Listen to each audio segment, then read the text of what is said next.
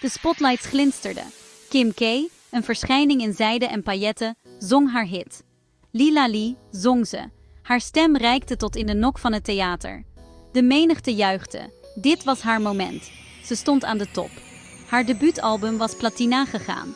Haar prijzenkast puilde uit. Kim K was een ster. Al van jongs af aan had Kim een gave. Haar stem, puur en krachtig, kon harten raken. Muziek was haar passie, haar doel. Ze legde haar ziel en zaligheid in elke noot. Toen Lilali op de radio kwam, was de wereld verkocht. Kim K werd synoniem met plezier, met passie, met de kracht van dromen. Maar het lot, zo leek het, had andere plannen.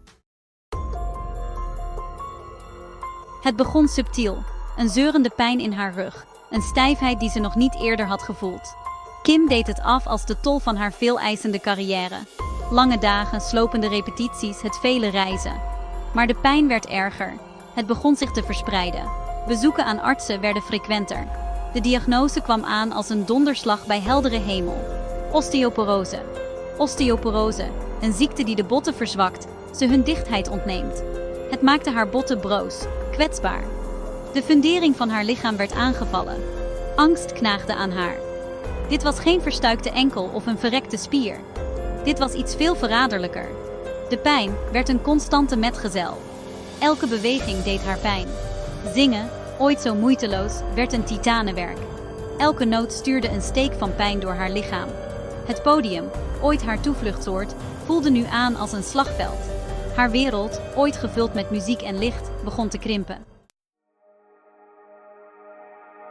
De muziek stopte. De tournees werden geannuleerd, de opnamesessies uitgesteld. Kim K, de levendige ster, trok zich terug uit de schijnwerpers. De stilte was oorverdovend. Haar stem schalde niet langer uit radio's en concertzalen.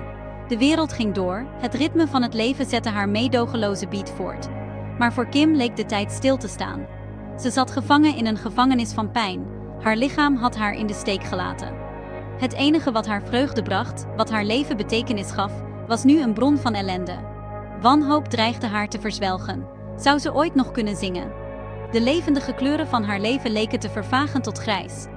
Het applaus, de bewondering, het voelde allemaal aan als een verre herinnering. Ze was Kim, niet Kim K, gestript van haar identiteit. De wereld kende haar als zangeres. Maar wat was ze zonder haar stem? Maar zelfs in de donkerste nacht kan één enkele ster de hemel verlichten.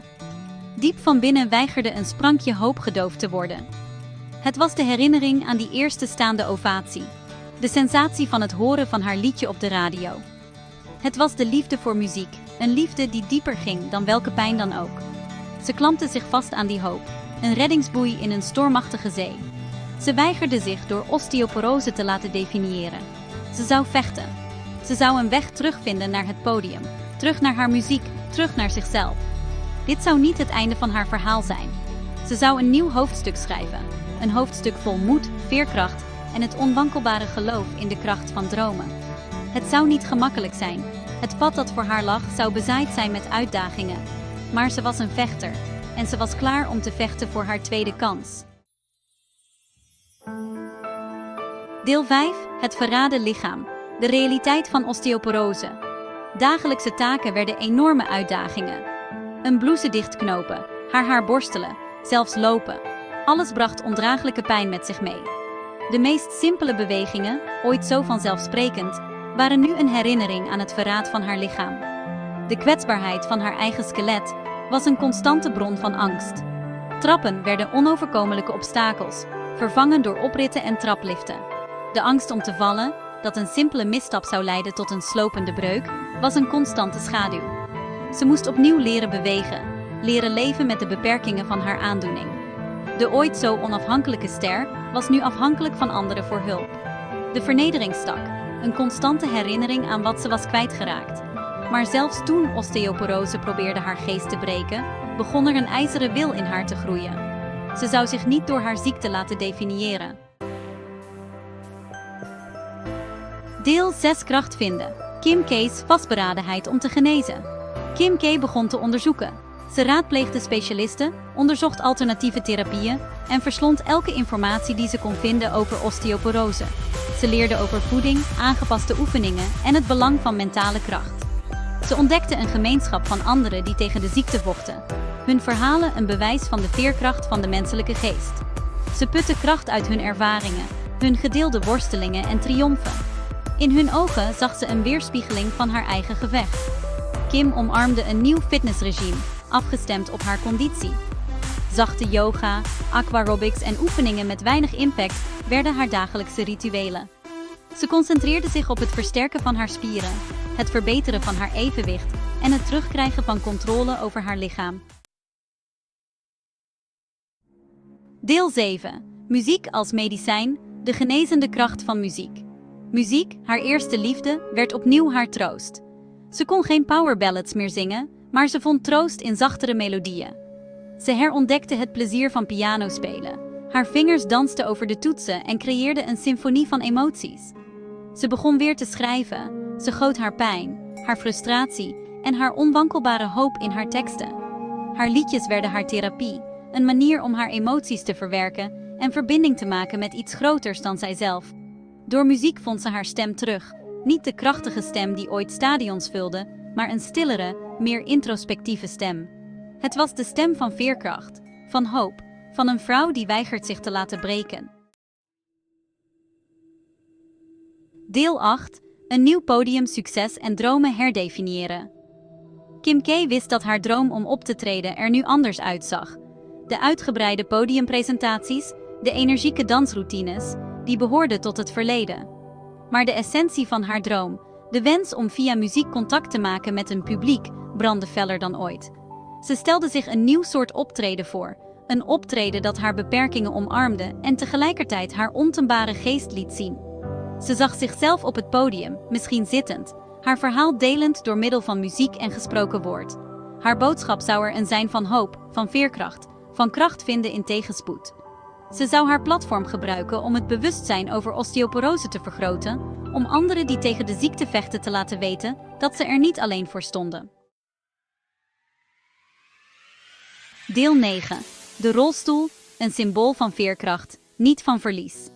Het idee om een rolstoel te gebruiken stuitte aanvankelijk op weerstand. Het voelde als een nederlaag, een zichtbaar symbool van haar beperkingen. Maar terwijl ze nadacht over haar opties, begon ze de rolstoel in een nieuw daglicht te zien. Het was geen symbool van nederlaag, maar een middel tot empowerment. Het zou haar in staat stellen haar energie te sparen, gemakkelijk over het podium te bewegen en langer op te treden. Het zou een bewijs zijn van haar veerkracht een symbool van haar weigering om zich door osteoporose te laten definiëren. Ze begon verschillende rolstoelen te bekijken, op zoek naar een die zowel functioneel als stijlvol was. Ze zag het als een verlengstuk van haar persoonlijkheid, een manier om zich creatief te uiten op het podium. Deel 10: Een sprong in het diepe, de beslissing voor een operatie. Er dook een nieuwe mogelijkheid op, een baanbrekende operatie die mogelijk haar botdichtheid kon verbeteren en haar pijn kon verlichten. Het was een riskante procedure, zonder garantie op succes. Maar de potentiële voordelen waren enorm. Na zorgvuldige afweging en overleg met haar artsen, nam Kim K de beslissing om de operatie te ondergaan.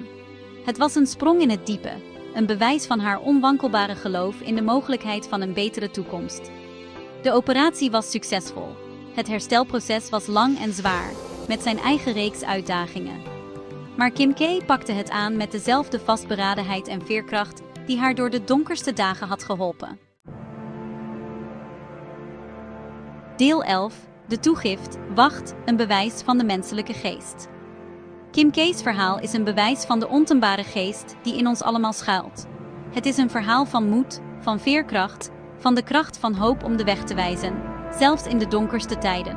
Het is een herinnering dat, zelfs wanneer het leven ons op de proef stelt, we de kracht hebben om er bovenuit te stijgen. Haar reis is nog lang niet ten einde. De toegift wacht. En wanneer ze weer het podium betreedt, zal dat zijn met een hernieuwde waardering voor de kwetsbaarheid van het leven en het onwankelbare geloof in de kracht van dromen om te helen en te inspireren. De muziek is misschien een tijdje gestopt, maar het lied in haar hart is nooit vervaagd. En nu, sterker en veerkrachtiger dan ooit, is Kim K klaar om haar muziek opnieuw